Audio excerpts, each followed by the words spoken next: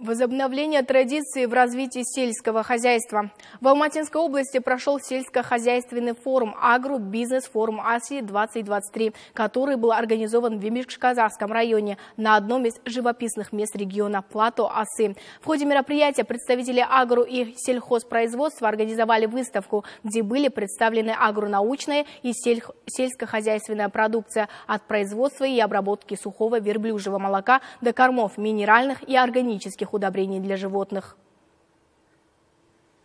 В Алматинской области насчитывается более трех миллионов мелкорогатого, а также около одного миллиона крупнорогатого скота. Об этом стало известно в ходе ежегодного слета чабанов, который в этом году приобрел новый масштабный формат в виде сельскохозяйственного форума. Мероприятие состоялось на одном из пастбищных мест, расположенных в 100 километрах от Алматы, Плата Асы, в Имбекши-Казахском районе. Несмотря на отдаленность места проведения форума, здесь собралось более полутора тысяч людей, заинтересованных в производстве сельскохозяйственной, агро агропромышленной продукции и в развитии животноводства региона. На организованной здесь специальной выставке предприниматели представили свою продукцию. Важное событие для сельскохозяйственников посетил и Аким Алматинской области. Марат Султангазиев ознакомился с деятельностью каждого предприятия и отметил, что их дальнейшее развитие несет существенный характер для региона.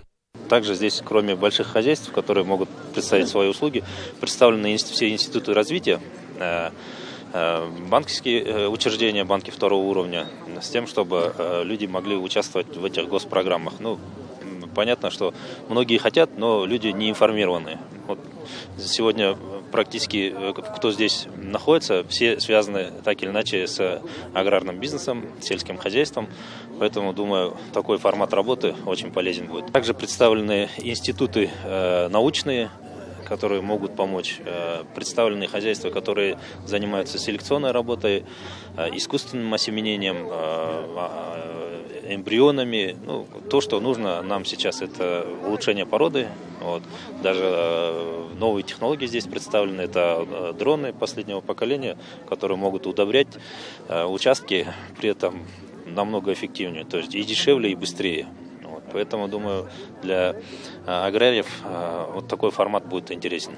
Посетив выставку, Аким области рассказал о мерах, предпринимаемых в регионе для развития сельского хозяйства. Так, в целях повышения доходов сельского населения в рамках государственной программы «Аул Аманаты» по области выделено 8,3 миллиарда тенге. Для эффективного использования этих средств необходимо развивать сельскохозяйственную отрасль в соответствии со спецификой каждого региона. В текущем году планируется выделить на эту программу 14 миллиардов тенге. По области 65% из четырех продовольственных продовольственных животных пасутся на 133 пастбищах. В соответствии с законом о пастбищах, каждый районный акимат работает над планом управления пастбищами и их использования на 2023-2024 годы, отметил Марат Султангазиев. Кроме того, в рамках форума ряд специалистов, проработавших несколько лет в сфере сельского хозяйства, награждены почетными грамотами и ценными подарками. Ерден қадыржанұлы свх шаруа қожалығының малшысы құрмет грамотасымен марапатталады.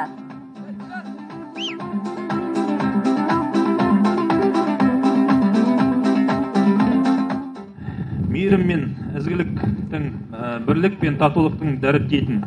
От всей души поздравляю вас, во-первых, со священным праздником Курбанайт. Курбанайт призывает людей быть добрыми, честными, сострадательными и близкими. Этот праздник всегда сопровождается национальными традициями. В рамках развития отрасли сельского хозяйства в области мы проводим форум аграрной отрасли на пастбище АСЭ. Уважаемые земляки, большое спасибо всем, кто принял участие в областном форуме аграрной отрасли. Уверен, что данное мероприятие несет огромный вклад в закрепление практики введения сельского хозяйства и его развития.